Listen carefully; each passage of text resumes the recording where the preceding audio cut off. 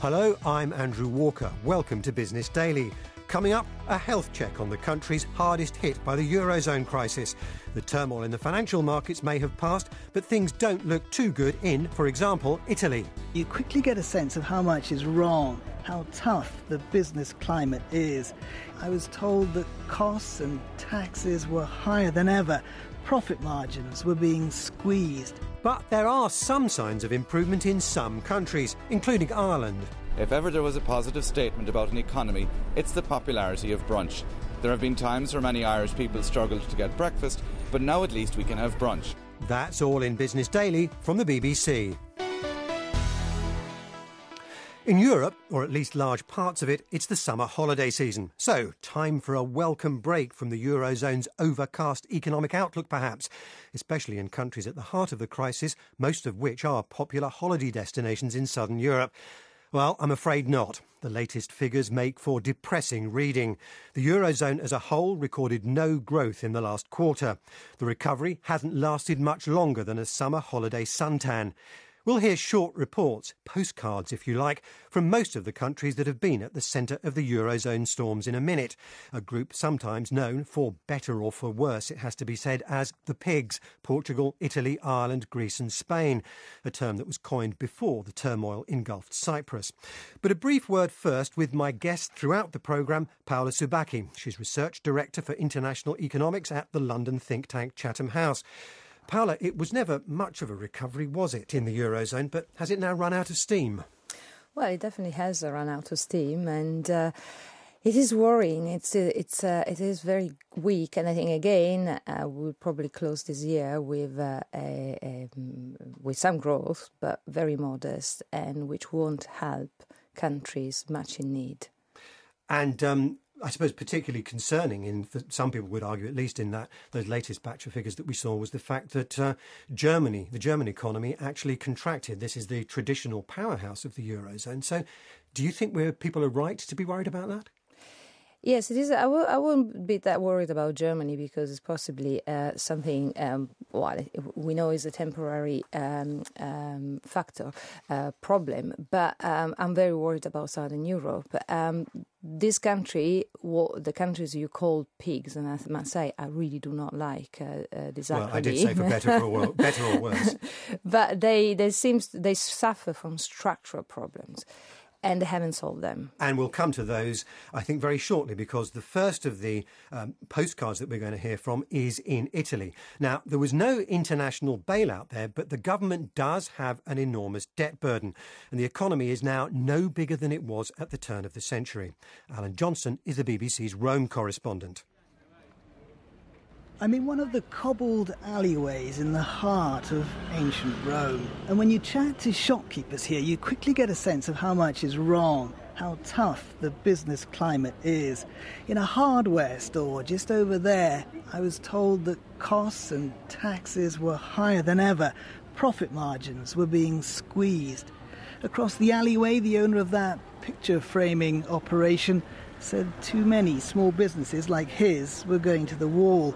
Meanwhile, a bicycle shop man called Daniello described this as a time of stagnation. He said there simply wasn't enough money flowing through the nation's economy. But I also met Antonella, a young woman who's just opened a clothes shop. She said it took a lot of courage to do that, given how bleak things are at the moment. And she complained about the amount of bureaucracy she'd had to cope with. She was sure that she could have got her business up and running more quickly in other parts of Europe and she's probably right. That was Alan Johnston in Rome and Paola Subacchi from Chatham House. Those concerns about the business climate in Italy, concerns I suspect we'd probably hear in some other countries, notably France. Are those kind of concerns the reason for Italy's economic stagnation? Uh, yes, there are some of the concerns. Italy is an interesting example because the problems predated the uh, global financial crisis. And in fact, actually, Italy was not one of the countries mostly affected and obviously was hit uh, by the subsequent debt crisis in the Eurozone. But when the crisis started in 2008, Italy, uh, for, for a while, thought to be immune. Um, but the problem is with Italy, Italy is a country which hasn't adjusted to what we call globalization, to the fact that there is much more competition, that the, the, the world economy, the uh, global economic order is completely different from what it was uh, 30, uh, 40 years ago. And Italy hasn't adjusted. And uh, it, it, really is, and all the problems were, uh, were highlighted in, uh, in, from, in the report are all there. And what Italy needs is a plan to um, adjust to, to uh, address some of these, these issues. And again, productivity growth is essential, changing the type of industry and companies and so on. Okay, thanks, Paola. Um, now we turn to two of the countries that did receive bailouts. First, Greece, the one where the Eurozone crisis really started. Yoyos Christidis in Thessalonica, the country's second city. Last week, August the 15th, was a major religious holiday in Greece, with millions flocking to churches across the country to celebrate the Assumption of Mary. Many were praying for a job. Maria Parascou was one of them. The 38 year old mother of two lost her job in 2011. Three years later, she is still counted among Greece's unemployed, who represent almost one third of the nation's workforce improving economic indicators mean very little to her. She says people cannot live on indicators alone. But even Greeks who are lucky enough to still have a job do not sound much happier. As for younger people, they seem resigned to the idea of a bleak future. An 18 year old preparing for his freshman year in college told me he expects no miracles by the time he graduates, and that he will probably have to leave the country to find work. Sunny days are currently keeping resentments in check. But as the summer approaches its end, Greeks are bracing for yet another winter of discontent.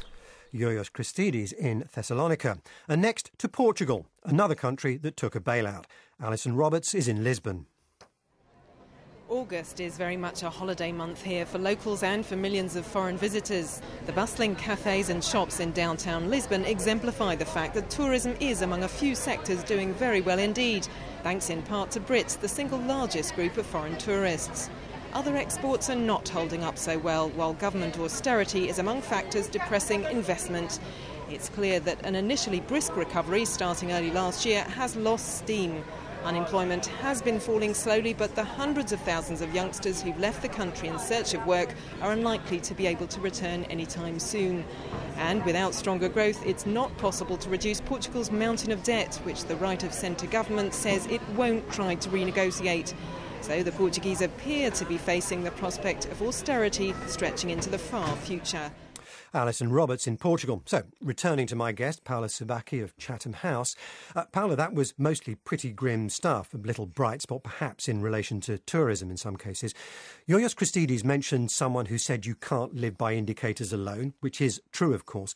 But they do tell us something useful, don't they? And, and are things getting any better according to the indicators in Greece to start with? Well, Greece is actually in a very, very critical situation. The economy hasn't hasn't grown since 2007, and that was the last time where they got this massive growth, which was uh, driven a lot by public spending. And gro- uh, Greece has also the largest public debt as a proportion of GDP in, in Europe and one of the largest in the world. Um, and both Greece and Portugal uh, are also example of countries which somehow didn't adjust uh, to the new conditions in the world economy. Those were the emerging. This is market. the wider globalization trend exactly. that we're talking about in relation to Italy already. Exactly, and these were actually the emerging markets of Europe before they moved into the European Monetary Union and they were upgraded to, uh, you know, advanced economies without having quite be there. And so the, the process of just was difficult, and they really, during the, you know, in the early days of the monetary union, they benefited from low interest rates. So again, a lot of liquidity, cheap money, that really trigger quite a, a lot of uh, investment, and uh, and some of these investments didn't really go uh, into any productive activities. They suffered after when when the collapse of uh, Lehman Brothers triggered sure. the crisis. Obviously, they were trapped in. And I mean, in relation to these two countries, do you see? I mean, are we getting near the bottom of the decline, that this very deep decline that they've gone into, especially in the case of Greece? Um, it looks like we are. You know, the indicator shows then then Greece is actually uh, moving out of this, but you know, we're talking about uh, just an example. In 2012, the Greek economy dropped by 7%. Last year, it dropped by almost 4%. Is that an improvement? okay. well, I suppose that's what has to happen before growth resumes and you start to slowly claw your way back up. Exactly. Okay, thanks very much for that, Paola. Um, you're listening to BBC for Business Daily from the BBC with Andrew Walker.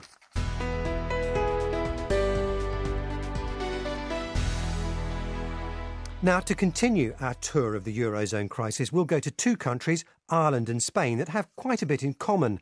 Both went into the crisis with government finances in apparently good health.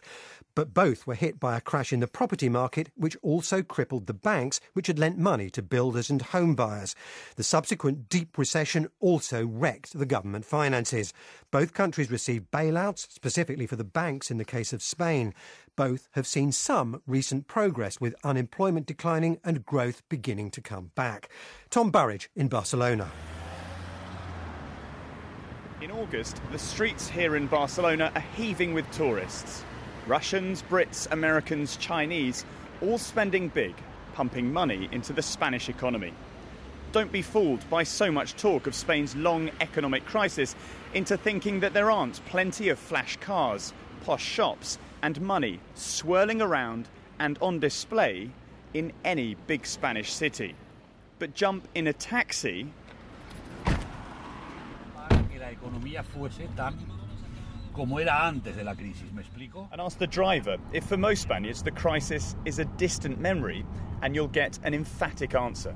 ¿Tú piensas que la crisis económica ya se ha acabado? No, creo que no. Why? Because austerity has made life more expensive here. Wages remain relatively low, and so too is consumer confidence. Yes, unemployment has fallen very slightly, perhaps because the government's reforms have made the labour market more flexible. But everyone still knows someone out of work. Pepe, our taxi driver here, who's originally from Cordoba, where unemployment is sky high, says he has friends, family, and neighbours who are out of work. Yes, the economic data shows Spain is on a more healthy path than it was two years ago. There are a rising number of business success stories. But when you drive out to the suburbs and talk to people in a city like Barcelona, few will tell you that the economic crisis is over. The BBC's Tom Burridge in Barcelona. And to our last stop, Dublin. Colm O'Regan is a former management consultant, now a stand up comedian. Let's see if there's anything in Ireland's economic situation that brings a smile to his lips. I'm standing here in one of Dublin's most familiar streetscapes, the sweep of College Green around past Trinity College. In the true style of a country that's economically on the move, it's all being dug up for an extension to Dublin's tram system one of the few public works projects that are tentatively underway in the last 18 months or so. They found some old, possibly Viking era skeletons during the dig a few months ago.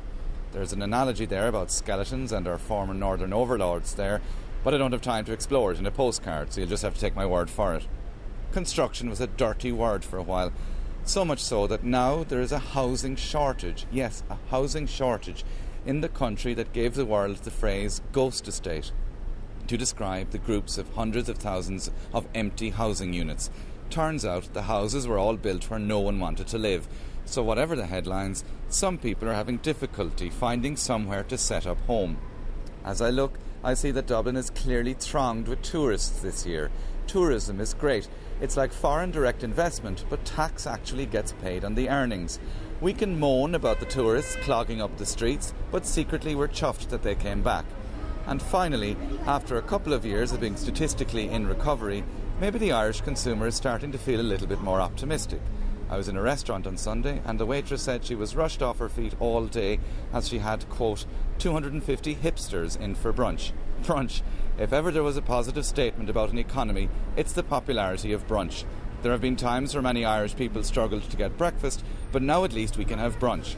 So maybe the bad times are over, but after the last few years, I'll tell you what there is little patience for in Ireland official economic statistics, the opinions of rating agencies, or the cost of our government bonds.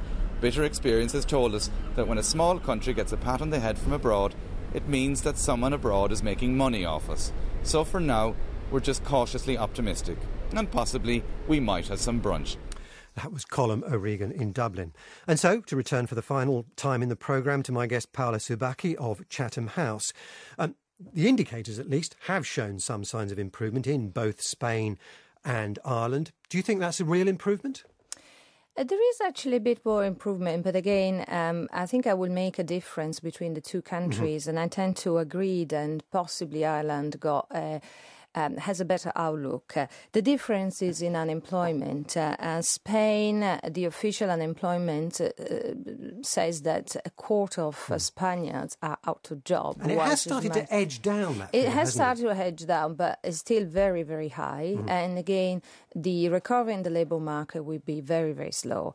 And the official figures for the, the overall unemployment rate covers the fact that a lot of young people are out of job. And again, the report says very clearly that and people move out of these uh, countries, they move out of Greece, they move out of Portugal, move out of Italy, go abroad and try to get young people then try to get a better job.